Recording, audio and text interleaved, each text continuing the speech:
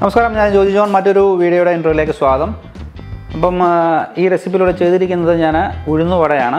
സിമ്പിളായിട്ട് ചെയ്യാൻ പറ്റുന്ന റെസിപ്പിയാണ് ഒരു പക്ഷേ എല്ലാവർക്കും അറിയാവുന്ന ഒരു റെസിപ്പി തന്നെയാണ്. ഞാൻ എന്റെ ചാനൽ ഇതുവരെയും അപ്ലോഡ് ചെയ്തിട്ടില്ല. അപ്പോൾ അതുകൊണ്ട് ചെയ്തതേ ഉള്ളൂ. അപ്പോൾ എന്തായാലും ചാനലിലൂടെ മനസ്സിലാക്കാം. വലിയ വ്യത്യസ്തമായിട്ടൊന്നുമില്ല. നോർമലായിട്ട് ചെയ്യുന്ന എല്ലാവരും ചെയ്യുന്ന അതേ ശൈലി തന്നെയാണ്. പിന്നെ മറ്റൊരു കാര്യം ഞാൻ എന്റെ നേരത്തെയുള്ള വീഡിയോസിലും അല്ലെങ്കിൽ വീഡിയോസിലും ഇൻട്രോസിലും ഞാൻ ചാനൽ സബ്സ്ക്രൈബ് ചെയ്യണം അല്ലെങ്കിൽ ഷെയർ ചെയ്യണം ലൈക്ക് ചെയ്യണം എന്നൊക്കെ പറയുന്നുണ്ട്. അപ്പോൾ ആ ഒരു പരിപാടി ഇനി ഉണ്ടാവത്തില്ല. കാരണം ഈ സബ്സ്ക്രൈബ് ചെയ്യുക അല്ലെങ്കിൽ ലൈക്ക് ചെയ്യുക ഷെയർ ചെയ്യുക എന്നൊക്കെ പറയുന്നത് നമുക്ക് തന്നെ തോന്നി എന്തെങ്കിലും പുതുമ അല്ലെങ്കിൽ എന്നുണ്ടെങ്കിൽ ഇഷ്ടപ്പെടുമോ എനിക്ക് പ്രയോജനപ്പെടുന്ന വീഡിയോ ആണെങ്കിൽ മാത്രം ചെയ്യുന്ന ഒരു പരിപാടിയാണ്. അപ്പോൾ നമ്മൾ എത്ര നിർബന്ധിച്ചെന്ന് പറഞ്ഞാലും അതൊക്കെ ഓരോരുത്തരുടെ ഇഷ്ടമാണ്. അപ്പോൾ അതുകൊണ്ട് ഇനി എന്റെ വീഡിയോസിൽ ആ ഒരു പാട്ട് ഉണ്ടാകത്തില്ല ചാനലിനകത്ത് ഉള്ള ടെസ്റ്റ് പാട്ട് ഉണ്ടാവും അതല്ലാതെ ഞാൻ പ്രത്യേകിച്ച് പറയുന്ന ഒരു പരിപാടി നിർത്തി. അതൊക്കെ നിങ്ങളുടെ ഇഷ്ടം പോലെ തന്നെ ചെയ്യുക. സപ്പോർട്ട് ചെയ്യണം എന്നല്ല പറഞ്ഞ് എന്തായാലും സപ്പോർട്ട് ചെയ്യുക. ഇഷ്ടപ്പെടുവാണെങ്കിൽ ലൈക്ക് ചെയ്യാനും ശ്രമിക്കുക. അതൊക്കെ പറയാൻ പറ്റത്തുള്ളൂ. നിങ്ങളുടെ ഇഷ്ടം പോലെ തന്നെ ചെയ്യുക. അപ്പോൾ എന്തായാലും നമുക്ക് ഈ വീഡിയോ കണ്ട് മനസ്സിലാക്കാം. നേരെ ചാനൽ ഇൻട്രോയിലേക്ക്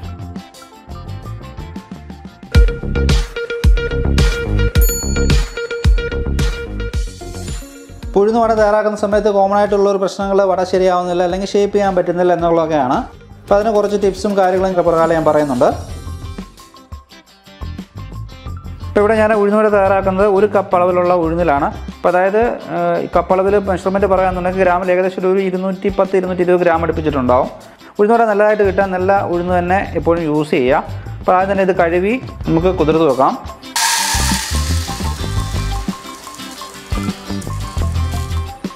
ഇത് നമുക്ക് നല്ലപോലെ തന്നെ കഴുകി എടുത്തിട്ട് മിനിമം മൂന്ന് മണിക്കൂറെങ്കിലും കീപ്പ് ചെയ്യുന്നത് നല്ലതായിരിക്കും. ഇവിടെ ഞാൻ ഏകദേശം ഒരു നാല് മണിക്കൂർ അടുപ്പിച്ചിട്ട് ഉഴുന്ന് കുതിർത്തെടുത്തിട്ടുണ്ട്. നല്ല രീതി തന്നെ കുതിർന്നിട്ടിട്ടുണ്ട്. ഇനി നമുക്കിത് അരച്ചെടുക്കാം. വടക്ക് വേണ്ടി നമ്മൾ ഉഴുന്നെടുക്കുന്ന സമയത്ത് നല്ല ഉഴുന്ന് തന്നെ ആഡ് ചെയ്യാൻ ശ്രദ്ധിക്കാം സാധാരണ ഉഴുന്നോടെ ചെയ്യുന്ന സമയത്ത് എല്ലാവരും പറയും വെള്ളം ആഡ് ചെയ്യാതെ അരച്ചെടുക്കണമെന്ന്.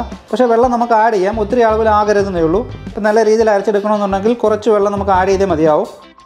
അതോടൊപ്പം തന്നെ നല്ല രീതിയിൽ അരച്ചെടുക്കുന്ന സമയത്ത് ജാർ ചൂടാവും. ചൂടായി കഴിഞ്ഞ് കഴിഞ്ഞാൽ ആ മാവ് പിന്നീട് ചുട്ടെടുക്കുന്ന സമയത്ത് പെർഫെക്റ്റ് ആയിട്ട് കിട്ടാതിരിക്കാൻ കാരണമുണ്ട്. അപ്പോൾ അതുകൊണ്ട് ഒന്നെങ്കിൽ തണുത്തതിന് ശേഷം മാത്രം പിന്നീട് ചുട്ടെടുക്കുക എന്തുവായാലും മിനിമം നമ്മൾ അരച്ചതിന് ശേഷം ഒരു അരമണിക്കൂർ കുതിർക്കാൻ വേണ്ടി കീപ്പ് ചെയ്യണം. ശ്രദ്ധിക്കേണ്ട ഒരു കാര്യം നമ്മൾ അരച്ചെടുത്തതിന് ശേഷം ഡയറക്റ്റ് ചുടരുത് ചൂടാറിയതിന് ശേഷം മാത്രം ചുട്ടെടുക്കുക. ഇപ്പോൾ ചെറിയ ജാറൊക്കെ ആണെന്നുണ്ടെങ്കിൽ രണ്ടോ മൂന്നോ ബാച്ചായിട്ടൊക്കെ അരച്ചെടുക്കാം. കുതിർത്ത് വെച്ചിട്ടുള്ള മാവ് വെള്ളം ഒഴിവാക്കിക്കൊണ്ട് നമ്മൾ അരയ്ക്കുന്ന ജാറിലേക്ക് ആഡ് ചെയ്യാം. അപ്പം ഞാൻ ആഡ് ചെയ്തിട്ടുള്ള ഉഴുന്നും അതോടൊപ്പം തന്നെ ജാറിന്റെ അളവനുസരിച്ച് എനിക്ക് ഒരൊറ്റ ബാച്ചിൽ അരച്ചെടുക്കാനതേ ഉള്ളൂ. ഞാനിത് മുഴുവനായിട്ട് തന്നെ ജാറിലേക്ക് ആഡ് ചെയ്യുന്നുണ്ട്. അപ്പം ഞാനിതിലേക്ക് കാൽ കപ്പ് അടുപ്പിച്ചിട്ട് വെള്ളം ആഡ് ചെയ്യുന്നുണ്ട്. അപ്പോൾ നമ്മൾ അരച്ചെടുക്കുന്ന സമയത്ത് വെള്ളത്തിന്റെ അളവ് കൂടുതലാണെന്നുണ്ടെങ്കിൽ നമ്മളിതിൽ പിന്നീട് അരിപ്പൊടി ആഡ് ചെയ്യുന്നുണ്ട്. അത് ആഡ് ചെയ്തുകൊണ്ട് നമുക്ക് ബാറ്ററിന്റെ തിക്നെസ് മെയിന്റെയിൻ ചെയ്യാവുന്നേ ഉള്ളൂ. ഇനി നമുക്കിത് നല്ല രീതിയിൽ അരച്ചെടുക്കാം.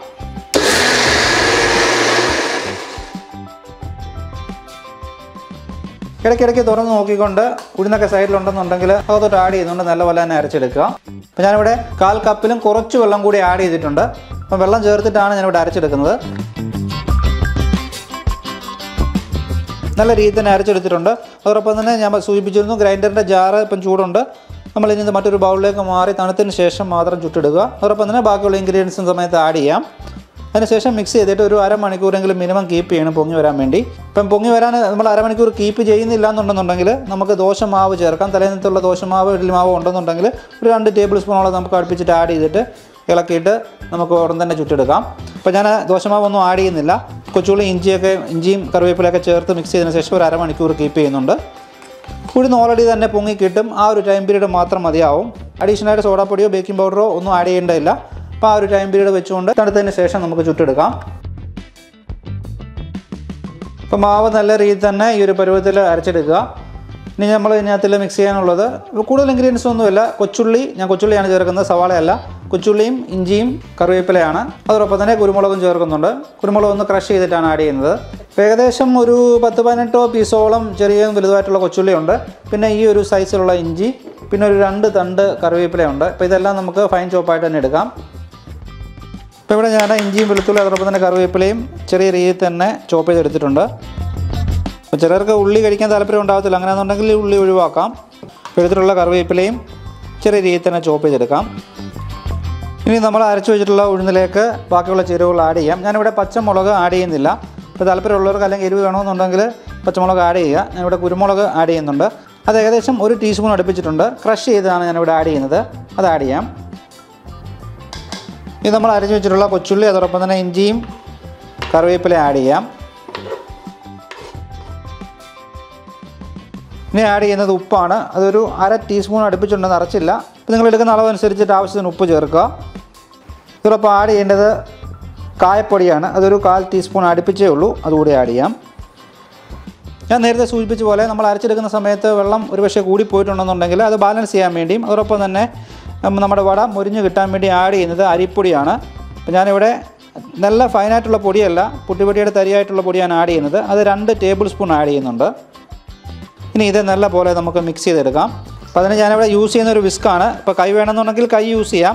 നല്ല പോലെ ഇതെല്ലാം എന്തുവരെ മിക്സ് ചെയ്തെടുക്കണം. സോഫ്റ്റ് ആയിട്ടും പെർഫെക്റ്റ് ആയിട്ടും കിട്ടണമെന്നുണ്ടെങ്കിൽ നല്ല രീതിയിൽ തന്നെ നമ്മൾ മിക്സ് ചെയ്തെടുക്കണം. മിക്സ് ചെയ്തെടുക്കുന്നതിനകത്തും കാര്യമുണ്ട്. അതുകൊണ്ട് കൈ വേണമെങ്കിൽ യൂസ് ചെയ്യാം. അപ്പോൾ ഞാനിവിടെ ഒരു വിസ്ക് യൂസ് ചെയ്ത് നല്ലപോലെ തന്നെ മിക്സ് ചെയ്തെടുക്കുന്നുണ്ട്. ഇതെല്ലാം മിക്സ് ചെയ്തതിന് ശേഷം ഒരു അര മണിക്കൂർ കീപ്പ് ചെയ്താൽ മതിയായിരിക്കും.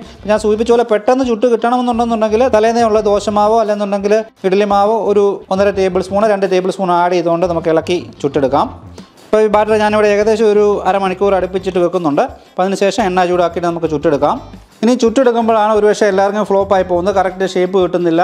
അല്ലെങ്കിൽ കയ്യിൽ ഒട്ടിപ്പിടിക്കുന്ന വെള്ളം കൂടിപ്പോയി. അങ്ങനെയൊക്കെ ഉള്ള ഒരു പ്രശ്നം വരാറുണ്ട്. എനിക്കും അങ്ങനെ വലിയ പെർഫെക്റ്റ് ആയിട്ട് ചൂടാനൊന്നും അറിയത്തില്ല. അപ്പോൾ അതിനുവേണ്ടി യൂസ് ചെയ്യുന്ന ഇതേപോലുള്ള ഒരു അരിപ്പയാണ്. സിമ്പിളായിട്ട് തന്നെ നമുക്ക് ഈ അരിപ്പ ഉണ്ടെന്നുണ്ടെങ്കിൽ നമുക്ക് ചുറ്റെടുക്കാം അപ്പോൾ ഇതിന്റെ ഈ ഒരു സൈഡിലാണ് കുറച്ച് വെള്ളം അപ്ലൈ ചെയ്യുക. എന്നിട്ട് നമ്മൾ എടുത്തു വെച്ചിട്ടുള്ള മാവ് ആഡ് ചെയ്തുകൊണ്ട് നടുക്ക് ദ്വാരം ഉണ്ടാക്കി ചുറ്റെടുക്കുകയാണ് ചെയ്യുന്നത്. അപ്പോൾ എന്തുപോലെ നമുക്ക് കണ്ട് മനസ്സിലാക്കാം. അപ്പോൾ ഇതല്ലെന്നുണ്ടെന്നുണ്ടെങ്കിൽ നമുക്ക് കൈ യൂസ് ചെയ്യാം. രണ്ട് കൈയിലും അങ്ങോട്ടും ഇങ്ങോട്ടും മാവ് എടുത്തുകൊണ്ട് വെള്ളം നനച്ചുകൊണ്ട് അതായത് വെള്ളം നനച്ചുകൊണ്ട് മാവ് കയ്യിൽ പുരട്ടി കൊണ്ട് ബോൾ രൂപത്തിലാക്കി ഏ, തുള ഇട്ടുകൊണ്ട് നമുക്ക് ചുട്ടെടുക്കാം. അപ്പോൾ ആ ഒരു എക്സ്പീരിയൻസ് ഉണ്ടെന്നുണ്ടെങ്കിൽ തീർച്ചയായിട്ടും അങ്ങനെ ചെയ്യാം. ഇപ്പോൾ സിമ്പിളായിട്ട് കയ്യിലൊന്നും ആക്കാതെ ചെയ്യണമെന്നുണ്ടെങ്കിൽ ഒന്നെങ്കിൽ ഇതേപോലത്തെ ഒരു തവി യൂസ് ചെയ്യാം. അല്ലെന്നുണ്ടെങ്കിൽ ചിരട്ടയുടെ ഇപ്പോൾ മറ്റൊരു വീഡിയോ ഞാൻ കണ്ടത് ചിരട്ടയിലൊക്കെ വെച്ചുകൊണ്ട് ചുടുന്നുണ്ട്. അപ്പോൾ ഏതാണോ ഈസി അതങ്ങനെ ചെയ്യാം പക്ഷേ സിമ്പിൾ ഈ ഒരു മെത്തേഡ് സിമ്പിളാണ് എന്തായാലും ഈ ഒരു മെത്തേഡ് ചെയ്ത് നോക്കിയിട്ട് അഭിപ്രായം എന്നെ അറിയിക്കുക. ചെറിയ രീതിയിലൊന്ന് വെള്ളം തിളയ്ക്കുക. നമ്മൾ എടുത്തിട്ടുള്ള മാവ് ഇതിലേക്ക് ആഡ് ചെയ്തിട്ട് നടുക്ക് കിഴുത്തിട്ടിട്ട് തിരിച്ചിടുകയാണ് ചെയ്യുന്നത്. അപ്പോൾ വളരെ സിമ്പിളായിട്ട് നമുക്ക് അതുകൊണ്ട് ചുട്ടെടുക്കുകയും ചെയ്യാം. ഷേപ്പിലൊന്നും വ്യത്യാസമൊന്നും വരത്തില്ല. നല്ല രീതിയിൽ തന്നെ നമുക്ക് ഷേപ്പിൽ ചെയ്തെടുക്കുകയും ചെയ്യാം. ഇപ്പോൾ ചുടാൻ വേണ്ടി ഞാൻ ഇതേപോലെ ഒരു കടായിയാണ് യൂസ് ചെയ്യുന്നത്. അതിലേക്ക് നമുക്ക് ഓയിൽ ആഡ് ചെയ്യാം. വട ചുടാൻ വേണ്ടി കൈ രണ്ടും നനച്ചെടുക്കുക. അപ്പോൾ അതിനുശേഷം നമ്മൾ യൂസ് ചെയ്യുന്ന തവിയാണെന്നുണ്ടെങ്കിൽ തവി അതിലേക്ക് കുറച്ച് വെള്ളം ആഡ് ചെയ്യുക. ചെറുതായിട്ടൊന്ന് വെള്ളം ആഡ് ചെയ്താൽ മതിയാവും. കാരണം ഒട്ടിപ്പിടിക്കരുത് കയ്യിലും അതോടൊപ്പം തന്നെ തവിയിൽ നമ്മൾ വെള്ളം നനച്ചു. ഇനി ഇതിലേക്ക് നമുക്ക് മാവ് ആഡ് ചെയ്യാം.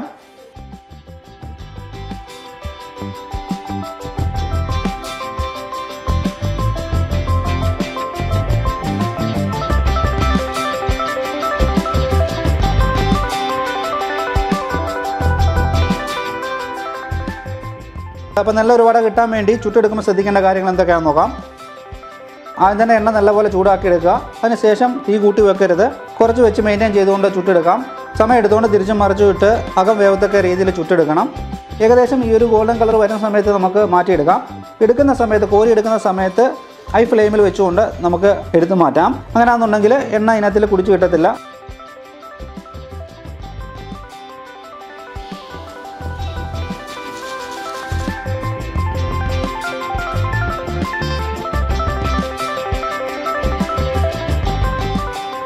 ശ്രദ്ധിക്കേണ്ട കുറച്ച് പോയിന്റ്സ് എല്ലാം ഞാൻ പറഞ്ഞു കഴിഞ്ഞു.